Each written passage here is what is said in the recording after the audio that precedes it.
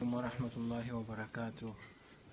Mubarak for all of you in England and I wish you the best of Ramadan inshallah and the blessings of Prophet sallallahu alaihi wasallam.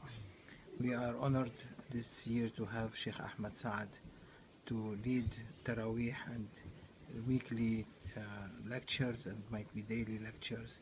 And I urge everyone from up north to east to west to south of London and to up north to Nelson to come and associate yourself with these circles of uh, al-halaqat al-Ramadaniya, the circles of Ramadan, which are going to improve our aqidah and our belief and our uh, fiqh and sharia and know, knowing more about our religion and also to know more about مقام الإحسان حيث قال النبي صلى الله عليه وسلم where Prophet said إنما بعثت لأتمم مكارم الأخلاق inshallah you will find enjoyment and you will rejoice in these nights blessed nights with Sheikh Ahmad Saad. He came to give these lectures and to read Ramadan Taraweeh uh, he is one of the best uh, Egyptian scholars in this time. He speaks very fluent English and very fluent Arabic.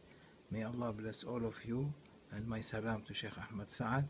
I don't know if I can come or not but uh, till now it's open.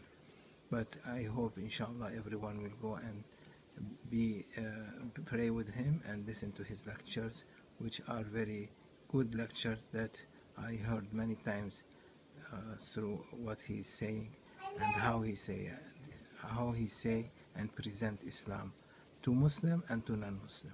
Wassalamu alaikum wa rahmatullahi wa barakatuh. Please come with your families. You can stay in the masjid, no problem. Assalamu alaikum wa rahmatullahi wa barakatuh.